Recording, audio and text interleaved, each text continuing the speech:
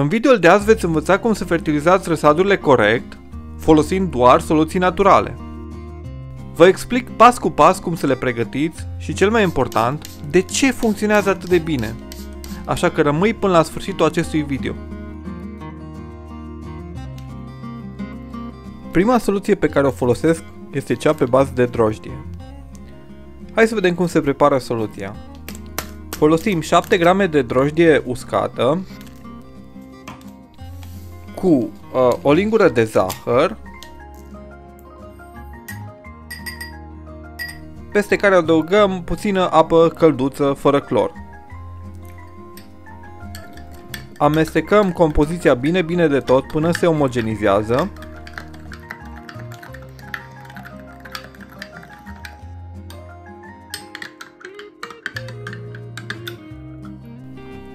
Iar apoi punem toată această compoziție peste un litru de apă, tot așa, fără clor. Poate să fie apă de la fântână, poate să fie apă de ploaie sau chiar apă de la robinet, dar care a stat 24 de ore fără capac pentru ca să fie ieșit clorul din ea. Se lasă 2-3 ore soluția pentru ca drojdia să se hrănească cu zahărul din compoziție și să se înmulțească iar apoi se poate folosi diluată, o parte soluție, la 5 părți apă. Dar de ce drojdia? Drojdia este plină de microorganisme benefice care stimulează activitatea biologică a solului. Aceste microorganisme descompun materia organică și eliberează nutrienții esențiali pentru plante. De asemenea, conține vitamine din complexul B, care ajută la dezvoltarea rapidă a rădăcinilor. În plus, este și foarte ieftină și la îndemâna oricui. A doua metodă este fertilizarea cu ceai de compost. De aceea trebuie să folosim compost de bună calitate.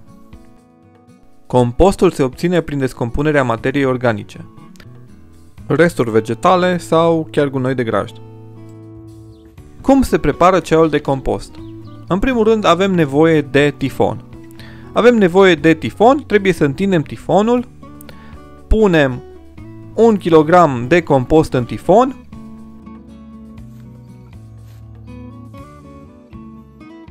strângem acest tifon și facem un nod,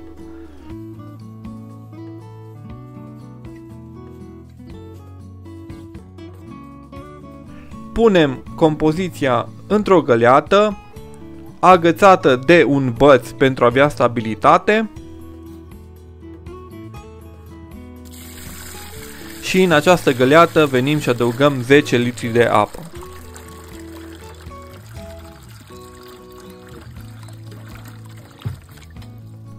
Masăm ușor compoziția pentru ca să elibereze toți acei nutrienți esențiali în apă precum azotul, fosforul și potasiul. Lăsăm la macerat într-un loc umbrit 24 de ore compoziția soluția noastră, amestecând ocazional. Pe urmă putem să luăm această soluție și să o folosim la udarea răsardurilor.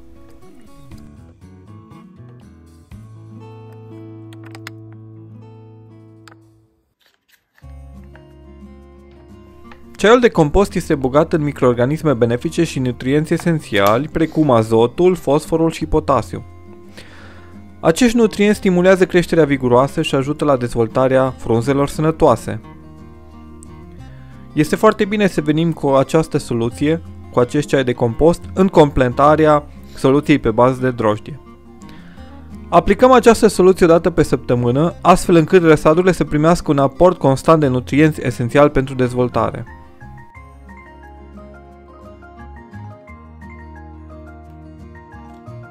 Ultima soluție pe care o folosesc este laptele diluat. Luăm o parte lapte și adăugăm 5 părți apă. Amestecăm totul bine până se omogenizează. Pe urmă, pulverizăm această soluție pe frunzele răsadurilor odată la 7 zile. Acesta este un tratament deoarece laptele conține proteine și enzime care creează o barieră naturală împotriva bolilor fungice, cum ar fi mana și făinarea. În plus, este o sursă de calciu esențial pentru dezvoltarea țesuturilor plantelor.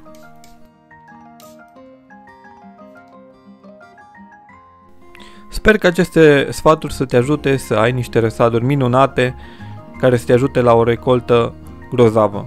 Dacă ți-a plăcut acest video, te rog să dai un like acestui video, să te abonezi și să-l distribui și prietenilor tăi. Mulțumesc foarte mult pentru vizionare, ne vedem data viitoare, rămâi cu bine!